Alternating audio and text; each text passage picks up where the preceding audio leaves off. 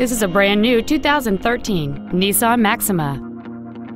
It has a 3.5-liter six-cylinder engine and a continuous variable transmission. Its top features include keyless ignition, a sunroof, aluminum wheels, and traction control and stability control systems.